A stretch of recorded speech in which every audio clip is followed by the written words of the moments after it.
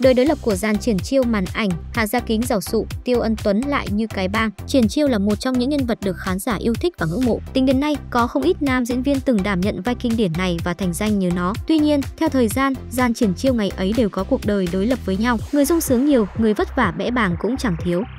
Tiêu Ân Tuấn Tiêu Ân Tuấn từng là nam thần trong mộng của rất nhiều người. Trước khi gây bão với những vai kinh điển như Lý Tầm Hoan của Tiểu Lý Phi Đao hay Nhị Lang Thần trong Bảo Liên Đăng, Tiêu Ân Tuấn từng khiến người ta thổn thức khi hóa thân thành triển chiêu trong thất nghiệp ngũ nghĩa với vẻ điển trai, nam tính cùng tài đánh võ xuất sắc. Từng đẹp trai và lãng tử là thế, nhưng Tiêu Ân Tuấn của tuổi trung niên lại khiến khán giả phải ngỡ ngàng. Anh bị người vợ thứ hai ly hôn và gọi là nghiệp chướng. Ở tuổi 55, Tiêu Ân Tuấn phải ở trong một căn nhà nhỏ xíu tồi tàn và đi chụp ảnh thuê cho các cô gái trẻ để kiếm tiền mưu sinh. Những hình ảnh mới của Tiêu Ân Tuấn cũng khiến người ta phải xót xa vì râu ria xồm xòa, khuôn mặt tiểu tụy hệt như cái bang.